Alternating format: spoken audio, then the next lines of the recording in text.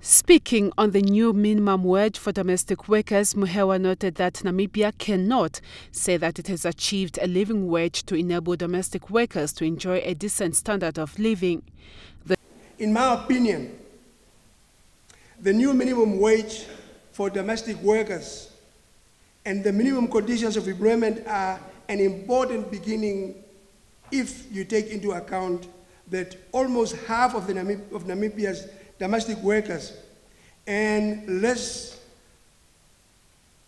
than half of the new minimum wage for full-time domestic work.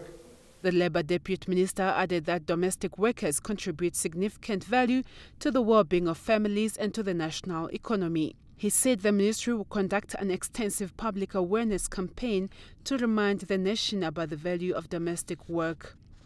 National Union of Namibian Workers acting president Connie Pandeni stated that the purpose of the National Congress is to evaluate, strategize and plan the way forward for NDAWU as a union and lastly to elect a leadership for the union.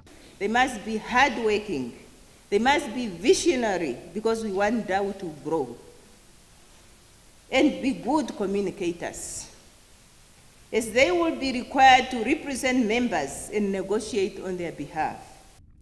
Speaking as a guest speaker to the Congress, Africa Labour Research and Education Institute Director Hilma Shindondola Mote, who's based in Togo, called on the union to stand firm for its members. I urge NDAWU not to be intimidated by the few negative responses.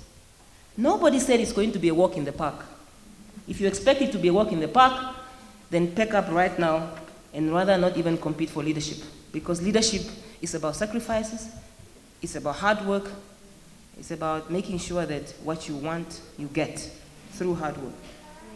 As a person who was a member of a commission that worked very hard to come up with the proposals, I urge all of us to support the Ministry of Labor and Social Welfare in the implementation.